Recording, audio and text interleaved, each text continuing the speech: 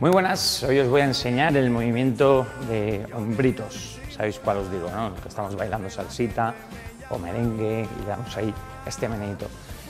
Parece difícil, pero es muy sencillo.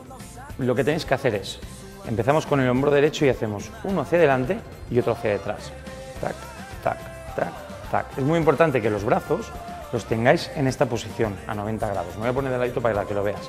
Fíjate, es este movimiento. Este, este, este, y vamos a ir acelerándolo un poco. Si ponéis los brazos aquí, ¿qué pasa? Que bloqueamos el hombro y ya movemos todo el cuerpo.